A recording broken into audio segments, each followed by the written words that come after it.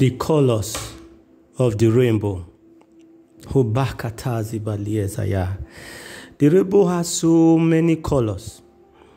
It would be nice if we could take our time to study those colors so that we may know the mystery of God therein.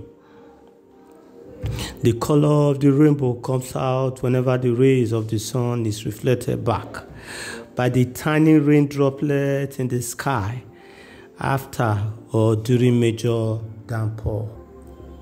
Those seven colors you see in the rainbow is truly of a truth the manifestation of different light colors that made up the so-called white color of the sun.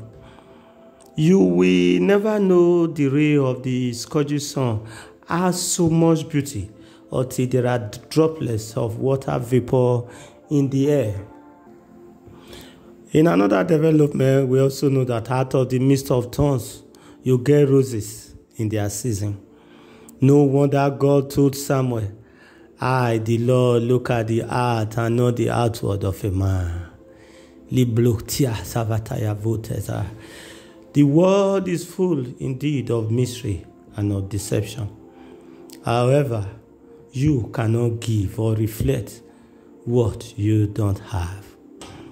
It is just a matter of time. The true color will indeed manifest. To this end, Jesus said, By their fruit you shall know them. It is just a matter of time. After seed time, harvest time will surely come. After sowing, there will indeed be season of reaping. Man of God, what do you reflect? What are you made of?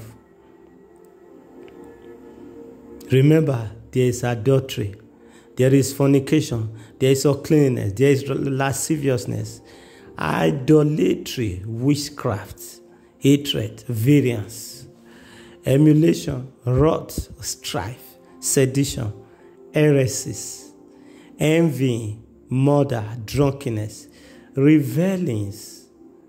If the prince of this world come and check you out, will he find any of this in you? Those are the works of the flesh. Brethren, the works of the flesh has already been judged. Has already been judged. They which do such things shall not by any means inherit the kingdom of God. If truly you are a follower of Jesus, your fruit will make it known. You will indeed manifest. As it is written, but the fruit of the Spirit is love, joy, peace, long suffering, gentleness, goodness, faith, meekness, temperance. Brethren, where are you in all this?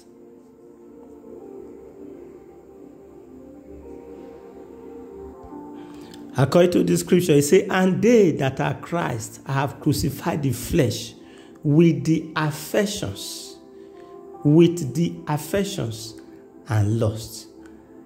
They that are Christ, they that are for Jesus, they have crucified the flesh. All the works of the flesh, they have crucified them, including the love for such and the lust after such. Even their heart, they have crucified the flesh. Man of God, take heed. Out of your belly flow a river from which many that taste, they drink to be able to quench their thirst. Out of your belly flow out a river that other people depend on for their living. So, what kind of river do you flow? Which kind of river flow from you? Look inward, brother. Is your river the river of the spirit unto life? Or is yours the river of flesh unto death? Ask yourself are you building an army of light to glorify God or a legion of demons and of fallen men to show forth the lust and the works of the flesh? You see, this body has become strong because though we have many churches, yet the impact as regard holiness and righteousness in the land is lacking even in this society. He said, For ye are yet carnal, for whereas there is among you envy and strife and division, are ye not carnal and walk as men?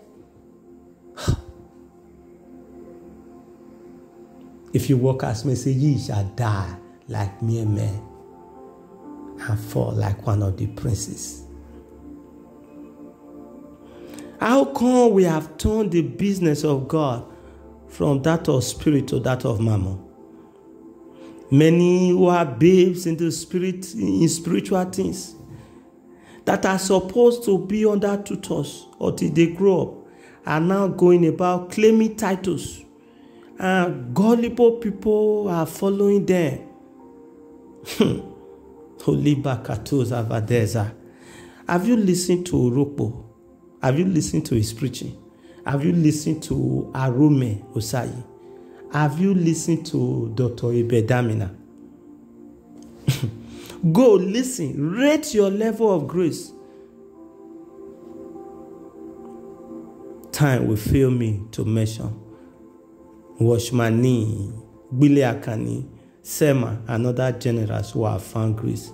In their journey into the wilderness and have returned by the power of the Spirit, and the fame of God is upon them, and such fame has spread abroad.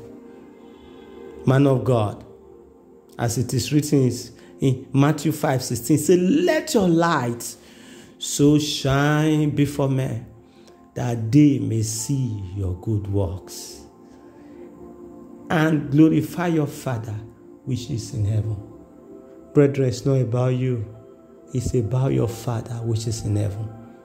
On the other hand, it's about the devil. Whoever you have chosen to serve, it's about them. Are you glorifying Satan in your flesh and lusts, or you are glorifying God in your spiritual good works? Brother, you have heard. Sister, you have heard. Man of God, you have heard. Woman of God, you have heard. If your works and heart posture are at variance with the desire and the burdens in the heart of God, remember, for we must all appear before the judgment seat of Christ, that every man may receive the thing done in his body according to that he had done, whether it be good or bad he went further to admonish us. He said, Knowing therefore the terror of the Lord, we persuade men. Yes, we persuade men to repent and align. For everyone's work shall be revealed by fire. Examine yourself, therefore, and answer this pertinent question Will my work survive the fire of God? Have you forgotten the word of Jesus so soon, my brother, my sister? When he said, But seek ye first the kingdom of God and his righteousness, and all these things shall be added unto you. This is a generation that seek after these things and expect that the kingdom and the righteousness shall be added. Jesus Christ. Ah. Who brought this upon us? How did we receive such a message or doctrine? Or will I call it culture? How did we submit our consciousness and soul to this level of spiritual inconsistency and depravity? Kabuka di stars abatulea. Heya lebakodez avadeza. Father, my God, I pray for the body of Christ at this hour. Purify us, Lord, with your fire. Purge us, O Lord, that we may be fit for your use. Father, lead us in the path of righteousness. For thy name's sake, Lord, take not thy Holy Spirit from us. Create in us a new heart, O Lord. Manifest your holiness through us, O my Father. Reveal unto us thy truth and thy light. In the name of Jesus. Amen